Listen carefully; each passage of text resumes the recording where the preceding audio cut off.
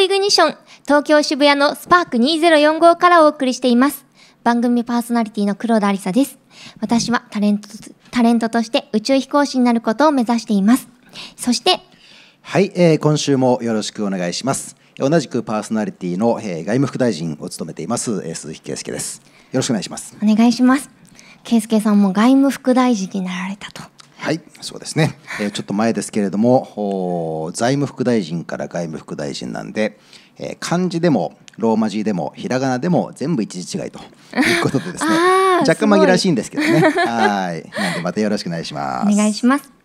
ファシリテーターはイグニションポイント株式会社アシスタントマネージャーの宮崎達也さんです。よろしくお願いします。グラフィックファシリテーションは玉置聡さんです。よろしくお願いします玉置さんは一般社団法人グラフィックファシリテーション協会のクリエイティブファシリテーターとして対話を絵に描くことで場を活性化し多くの企業団体の課題解決に携わっていらっしゃいます。それでは宮崎さん今週のディスカッションのテーマを発表してください。はい。えっと、今回は、えー、これからの採用の在り方ということでその第1回といたしまして、えー、現在の新卒中途採用に関する課題は何かということでお話ができればと思います。えー、人材不足はまあ多くのあの企業が抱える問題だとは思うんですけども、えー、今回はその中でも新卒採用だったりとか、まあ、特に若手層のあの中途採用に焦点を当てて、えー、採用市場のまあ状況なんかを踏まえながら、えー、新卒採用中途採用の課題をディスカッションさせていただければと思います。はい、宮崎さんも人事を担当されているということなんですよね。そうですね。今私はイグニッションポイントの中で、まあ、人事だったり採用を行っております。うん、なんかすごくお若いので、あこの方が人事なんだって思う方もいらっしゃるんじゃないですか？まあ、でもイグニッションポイント自体が若い会社ではあるので今まだ平均年齢30歳ぐらいの会社になりますんで、まあ、そう考えると社内ではそこまで若くないのかなというところですね。はい、はいそれではパネリストの皆様をご紹介いたします。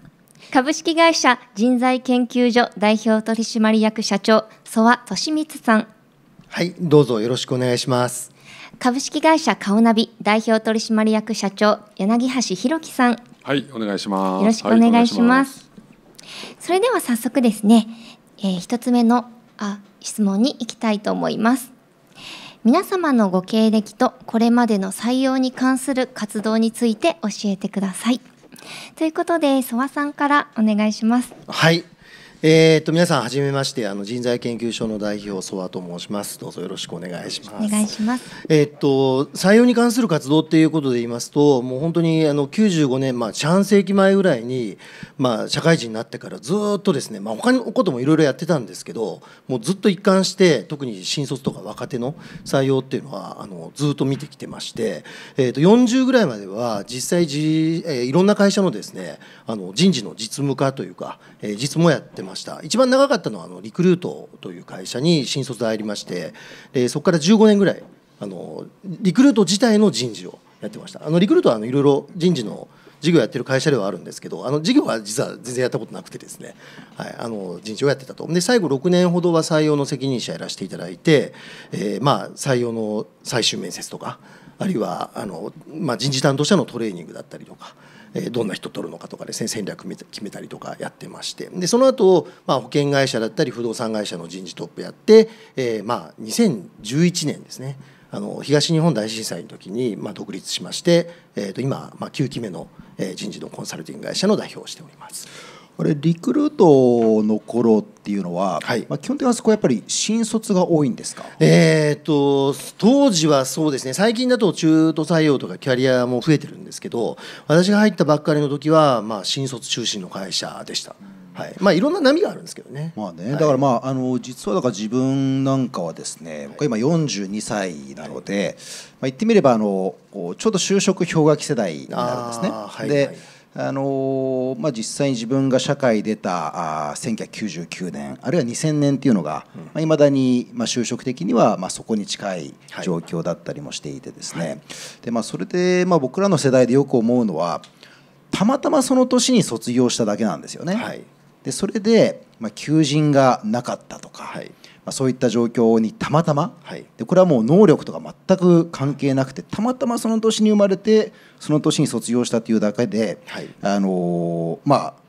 求人がなければ当然会社にも入れないわけですから。というのがまあ実は今の就職氷河期対策っていうところの一個の大きな問題課題ではい、で実はその根っこにあるのってまあ新卒一括採用というか。まあ、この終身雇用というかですね、はい、まあ、そんなモデルなんだというふうにまあすごくまあ痛感する世代なんです。はい。でまあ言ってみればそのリクルートさんの、まあ、かつてはやっぱりそのそういった大量採用モデルで、はい、えー、その構造整理をしていくみたいなそういったモデルがかなり強かったと思うんですけれども、はい、ただこれからやっぱり会社の在り方も、はい、人と会社との関係もかなり変わっていくじゃないですか、はい、そういった中ではまあ、ね、いろいろその後もあのスタートアップの会社の人事なんかもやられてますけれどもそこはこれからどんどんなんていうかな加速度的に変わっていくっていう実感はお持ちですか、まあ、そうですね。あの加速度的に変わるかどうかは分からないんですけどというのは今もやっぱりまだ日本の企業というのは新卒一括採用が中心になったりとかするんですけどただあの実際に、えーまあ、人材の力で買っていこうとした場合、えーともう新卒だけを中心に、まあ、人材のマーケットとして捉えるんではなくてもう世の中全部の人の中から一番この仕事に適している人っていうのを取っていくっていうこう何ですかねリアルタイムにオンデマンドにこう採用していくことができる会社が結局あの一番ですね最適な人っていうのを取れるようになってきてる、ね、というふうにはなっていると思います。本来だから人事の仕事って、はい、多分その一番いい人材をその時一番求められている人材をまあ、社内でも社外でも関係なく取ってきて、はい、っていうのがまあ一つの大きな仕事なんだろうなと思う一方で、はい、これまでの大企業の人事ってどっちかっていうとこう青互いして一気に入れて、でこうみんななんとなく平等に出世させてってみたいなところがあったりしますよね。はい、ありますね。だからそこは結構大きなまあ課題なのかなと思って、まあ今日はまあ今日というかですね、まあ今回もそうですし、まあ今回人材というあの切り口の回ですから、はい、まあそこら辺もね深くこれからお話を伺っていければと思いますけれども、はい、例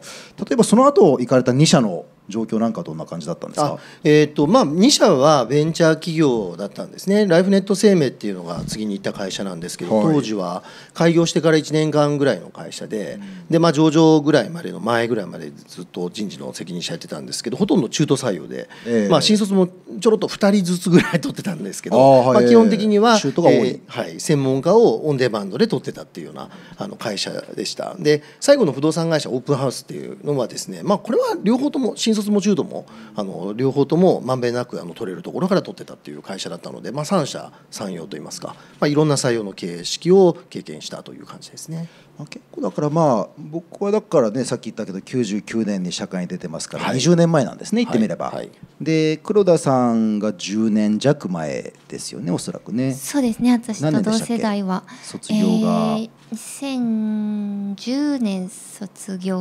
あ大学リーマン後の時ですねじゃあね、はい、えー、まあ、ちょっと氷河期っぽい、そうですねはい、割とだから10年単位でかなり変わってる感はあって、はい自分なんかの時はやっぱり基本は大企業に行くもんだよねみたいなのが強かった時代だったりしたんですけれども例えば黒田さんの周りの同級生まあ物理学科だからね結構そこはあのまた院に行くとかもあると思うんですけれども周りのこう同級生とかってどんな就職のイメージ持ってた感じですか？当時は。そうですね。あの、まあ、教師に教育免許取って教師になるっていうのを選択した子だったり半分ぐらいが院に行く選択をしてましたね。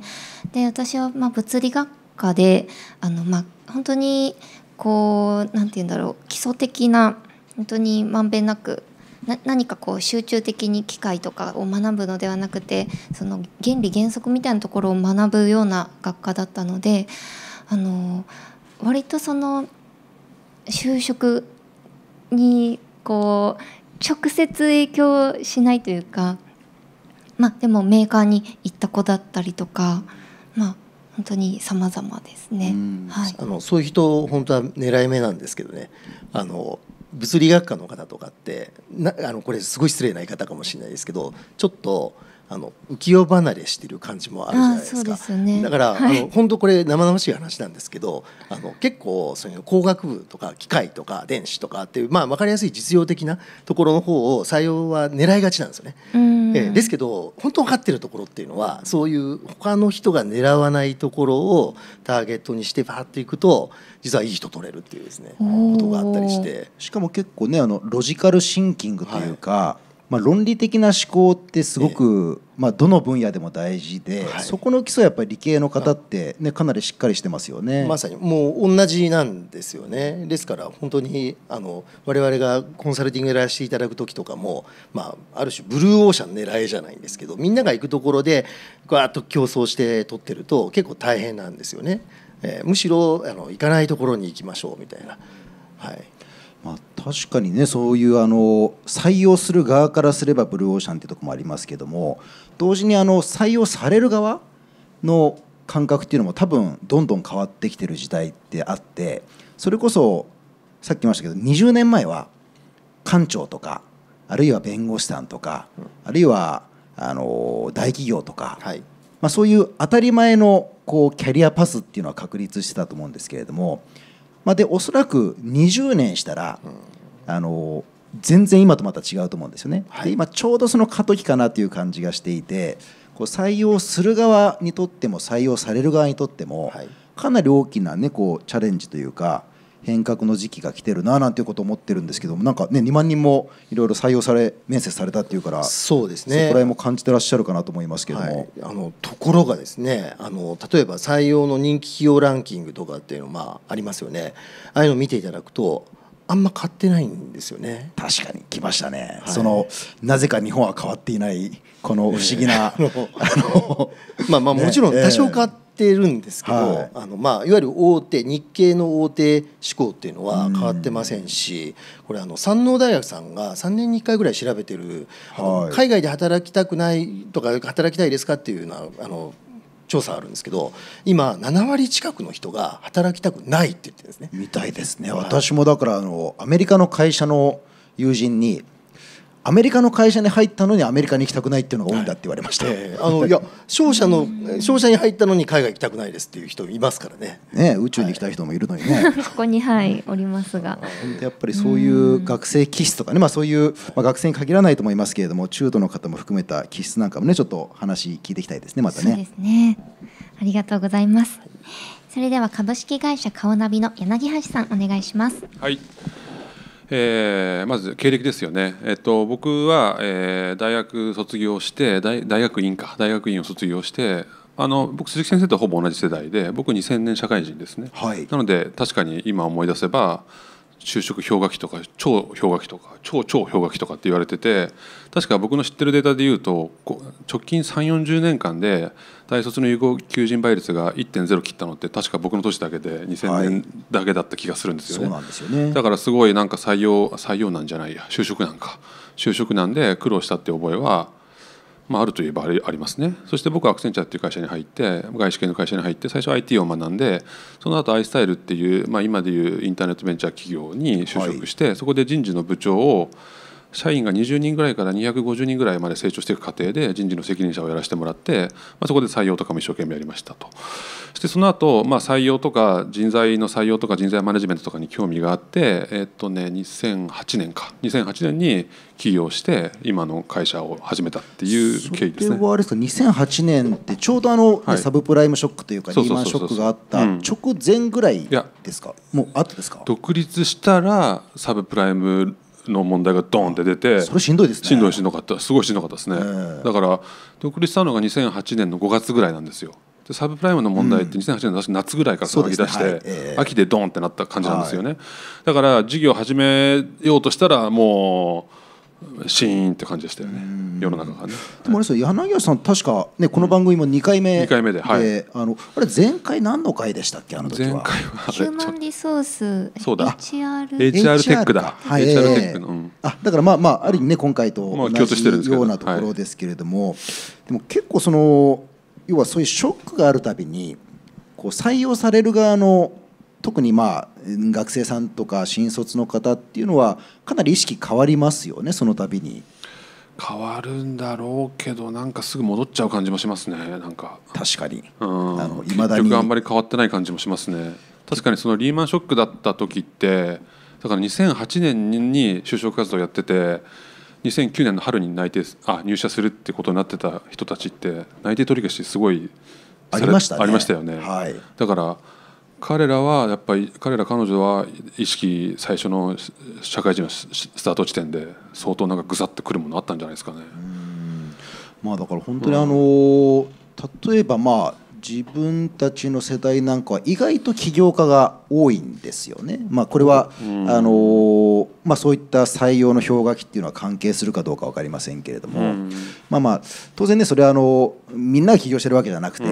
あの起業したい人は昔からいるんですけれどもそれでも社会のムードって割と、なんかいろんなイベントで変わる時もあるかなと思いますよね。ね。それに関わる話で、まあ、今年の3月におかげさまで上場させてもらったんですけどで上場した後、まあいろんな IR 活動でいろんな投資家さんと日々会うんですけど外国人の投資家の方ともよく会うんですけどこの間ね会ったアメリカの投資家の方が最近その40代前半ぐらいできあの上場する社長がすごい多いじゃないかとお前も含めていろいろ出てきてるじゃないかって。40代で IT で上場するのが多いのに何か理由があるのかって問われてあれそんなこと意識したことがなかったけど言われてみれば確かに多いみたいな。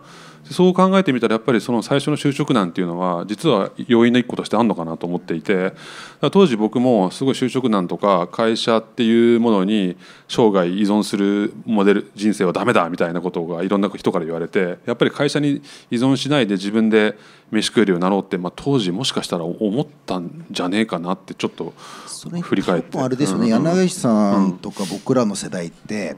あの山一証券が潰れるとか。宅銀とね。結構でかい会社が潰れる意識が強いじゃないですか。そう。いうのはねなんとなくあるのかなって気もしますよね。宅銀と山一証券が学生時代に潰れてますよね。だからあれはやっぱショックでしたよね本当にねまあ結構だから少しした後ね、まあ、それこそまあ日本航空さんがまあ民事再生になるとかやっぱりそういうなんか割と有名な企業もとか企業ってものはあの永遠に続くもんじゃないんだみたいなそういう感覚が出てくると意外と僕はこの採用マーケットというか、うん、人事というものにも大きな影響を与えるのかななんて気もね、うん、するんですけどね、うん、そうだと思いますね。だから当時の意識っていうのは別に間違ってはいないと思うんでなんか今の問題を解決する一個の手段の一つとしてヒントもあるのかなって僕も感じますねやっぱりね。で実際事業としては今はあの人材のデータベースをされているんですね。そうですね。はい企業様向けの社員さんをマネジメントするための人材データベースですね。はい、これはなんかあのいろいろ認識技術というか顔写真のなんか認認証認識技術をベースにされてるんですか？今は顔写真の認証まではまだ入ってないですね、はい、まずは顔写真で、えー、普段見てる社員さんの顔写真が画面に並んで、まあ、直感的にあの人材情報を参照できますっていうことが売りなシステムですね、はい、あじゃあその顔を見てあこの人はどういうこうスキルがあってどういうこれまで経歴でとかそういうのがまあパッと出てくると。パッと出てくるとそんな感じですね、はい、それはなんかね人事部嬉しそうですよね、そういうのがあるとね、そうですね。でもこう同時にこう顔の大事さというかやっぱりその写真一枚の重要性を感じるなとも思いますね。確かにね人事の方が見てまあやる気に満ち溢れた顔をしている写真となんかこうねそうじゃない写真だとクリックするかどうかの回数も変わりそうですからね。まああるかもしれないですね。うん、あの顔が結構あの記憶のキーになるんですよね。あの例えば採用とかだと、まあ、これあのもう欧米とかだと顔写真があると人種がどうだとか男女がどうだでまあ、差別されるんじゃないかということでもう履歴書とかそういうのに顔写真貼るっていうのはどうかっていうのがありますけど、まあ、日本は別にそういうことはなく、えー、実際ね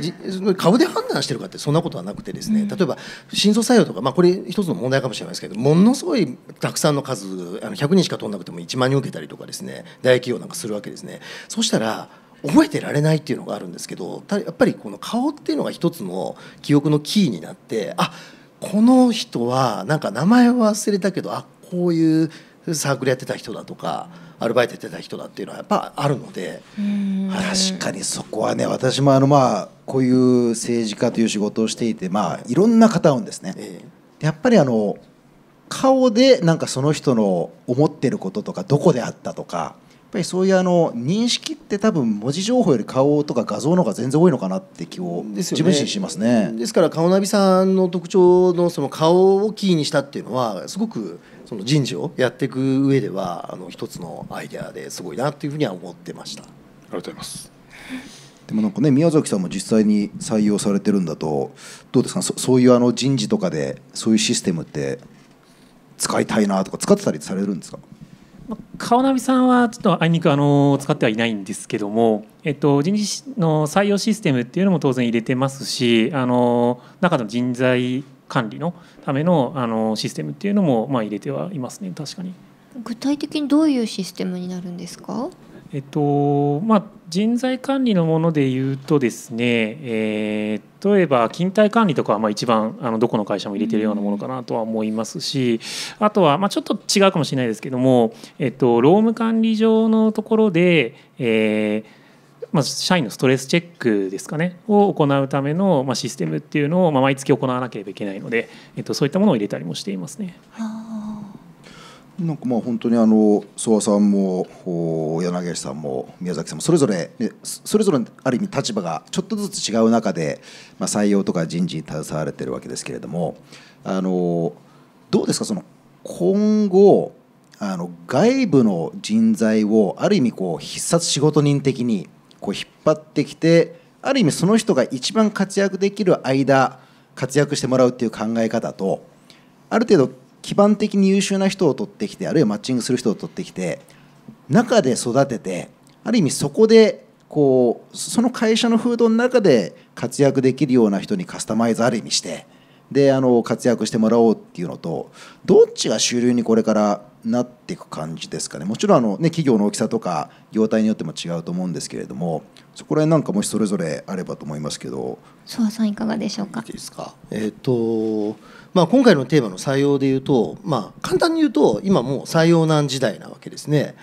えー、少子化を背景にしてもうこれから多分20年とかもう続くはずですよね。もう生まれてしまった人がなんか分裂して増えるわけないので、えー、ということを考えるとですねあの今おっしゃられたその2つの選択肢っていうのはあの、まあ、例えばオンデマンドっていう話もさっきもしたんですけどじゃあ今必要な時だけ来てもらってじゃあそうじゃなかったらお別れっていうふうなものはむしろちょっとやりにくくなっていて中にいる人たちをいかに生かすのかっていうのはまずベースなんでかというと取り取れないからですね。そのえー、その入れ替わり立ち替わりっていうのでできる会社っていうのはかなり採用力のある企業に限られるというか、まあ、いわゆる人気企業ですね。えー、というふうな感じで結局育成っていうのを前提にしていかなきゃいけない、まあ、だから川内さんみたいなそのいわゆるタレントマネジメントシステムって言ったりとかするわけですけど要はその中にいる人たちの才能っていうのを生かしきるみたいな、えー、ところがあってのその上にまでもいい人も取りたいから採用頑張るみたいな、まあ、こういう状況なんじゃないかなっていう気がしますね、まあ、確かにねこうマッチする人材見つけてくるっつったってなかなか向こうから来てくれるとは限らないし、はい、こっちから探すってなったらきりがない話になっちゃいますし、はい、結構そこは本当に難しいですよね、本当にね。で結構大きな企業になればなるほど実はその特に日本の企業って昔からたくさん取ってふるいにかけてみたいなあのマネジメントの仕方してたっていうこともあってですねあのじ意外にいい人がなんか囲い込まれて経営者の目から見るとあのい分からなかったりとかですねというのがあるんですよねだからまずは内部市場って言ったりしますけどあの会社の内部の中からまず探しつつ一方で本当にいなかったら外に取りに行くっていうような、まあ、そういう順番になっていかないと、まあ、現実問題としてあの適した人っていうのを会社の中に揃えるっていうのはなかなか難しい、えー、状況ではあると思います。柳橋さんいかがでしょうか？そうまあ今お話しいただいたことはおっしゃる通りだと思いますね。であと僕がすごい感じるのが、えー、このテーマで言うとそれこそ今日、あのー、うちの会社初めての新卒採用を始めて今日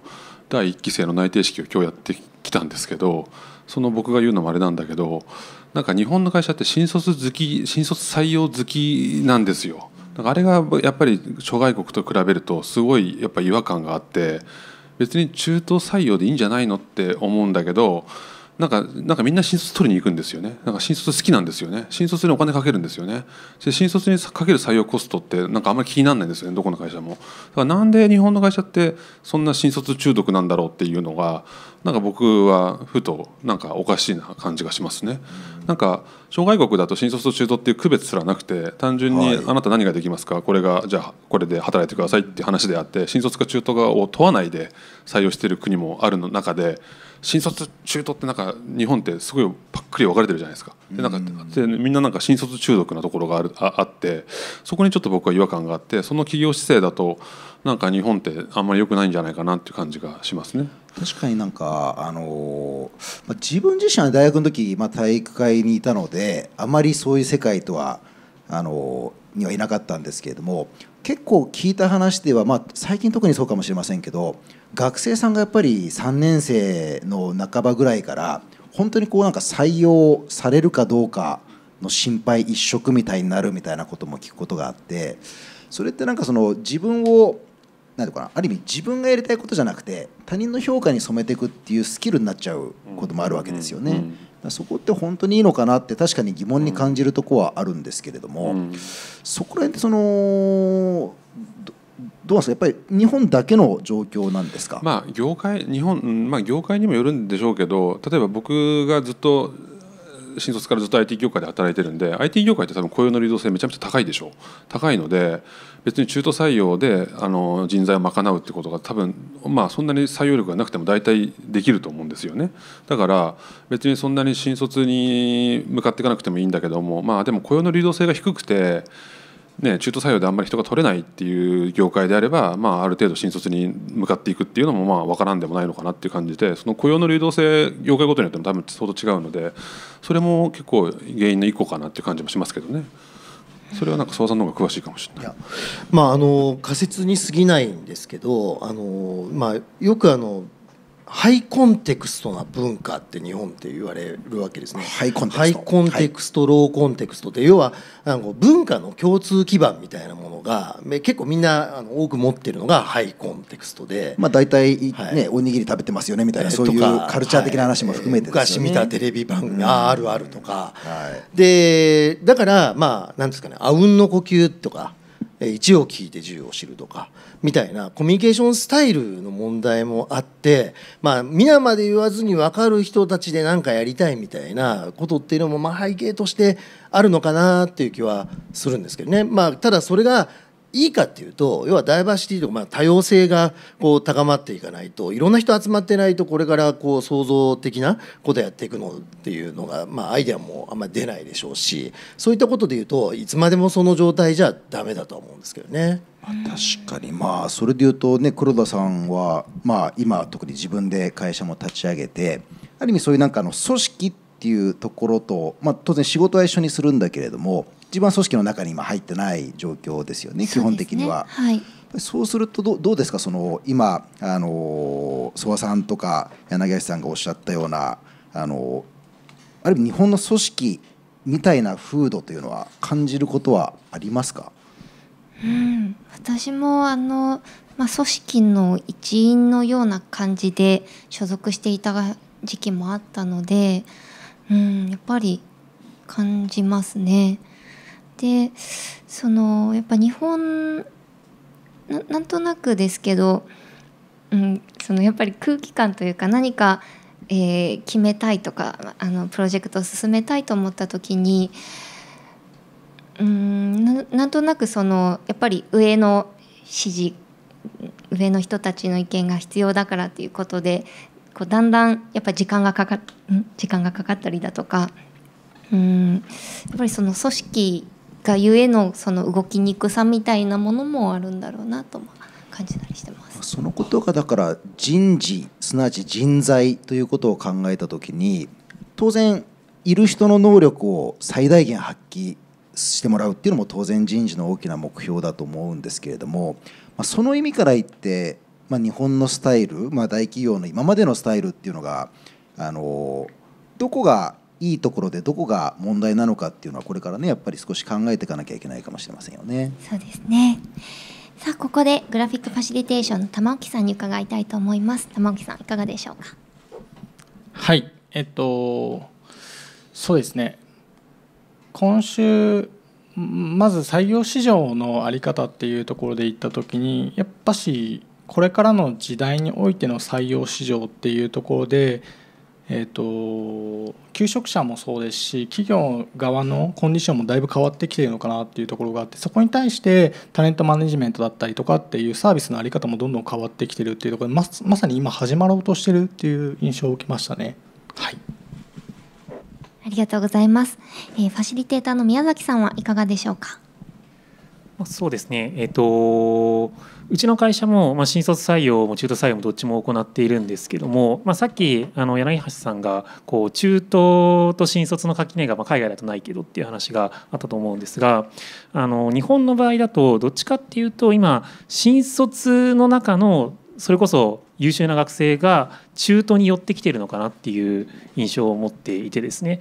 えっと、例えばまあうちもそういう学生をこう狙って採用しようとはしてるんですけども自分で今だったらビジネスを立ち上げるみたいなことも、まあ、割と簡単に昔に比べるとできるようになったっていうのもありますし、まあ、インターンシップなんかもこう盛んに行われることで、まあ、1日2日のあのなんちゃってインターンシップではなくて、えっと、本当長期間1年だったりとかある程度の期間でインターンシップを行うもう言ってみれば半分ビジネスをやってるような学生っていうのが増えてきてると思うのでそういった学生がもっともっと増えてくると新卒が中途によっていってで、えー、と中途と新卒の採用の垣根が変わっていくようになるのかなと思うので、まあ、そういった若手がどんどん増えてくるといいなとは思います。はい、ありがとうございます。さあ、圭介さん、今週はいかがでしたか？はい、あのね、あのお二人ともパネリストのあの曽我さんも柳吉さんもそうですし、宮崎さんもね、それぞれの立場であの採用だったり人事という話を少し今日はキックオフでやっていただきましたけれども、あの少し思うのは、特に今時代がすごく変化をしているというのが一つあって、特に変化が早い、要は会社の存続というものも含めて変化が早い時代がやってきたということ。でもう一つは日本っていうカルチャー風土というもの。あるいはその学生さんたちの思い、えー、採用する側の思いそういったものがこうかなりまあ、なんていうか網の目のようになって多分正しいものっていうのは出てくるんだろうなと思うので、まあ、ぜひあの来週再来週はそんな話を中心にですね深掘りしていければいいかなと思います。はい宮崎さん来週のテーマをお願いします。はい来週のテーマは今後企業の採用活動はどのように変わっていくのかというところをあのテーマにお話をさせていただければと思います。はいお時間となりました。皆さん来週もよろしくお願いします、はい、よろしくお願いします。よろしくお願いします